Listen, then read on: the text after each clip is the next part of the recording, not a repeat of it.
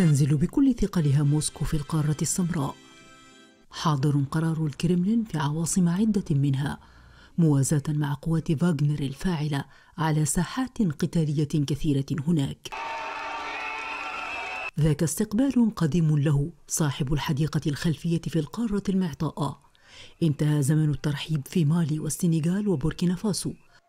وما عاد لساكن الإليزي أن يستمتع بإطلالته على ساحل الخيرات الدفينة ولا الملء من موجها الفياض.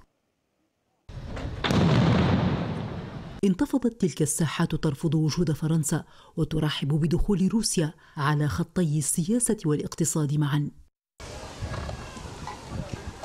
من فوق سقوف البؤس الإفريقي البادي تتغلغل موسكو في الأسواق المحلية الإفريقية. تتجاوز استثماراتها نحو 20 مليار دولار. ليس متواضعا إذا ما اقترن بإلغاء ما يعادله من ديون مستحقة على عدد من دول المنطقة.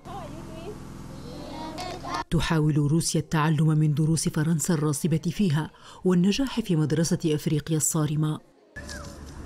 خصبة أراضي الاستثمارات في القارة الإفريقية من طاقة ومعادن ونفط لا تريد إرهاق اقتصادات إفريقيا موسكو تسمح باعتماد العملات المحلية. لينتقل لهيب اقتصاد روسيا منذ فترة لاقتصاد مناطق التعامل بالدولار.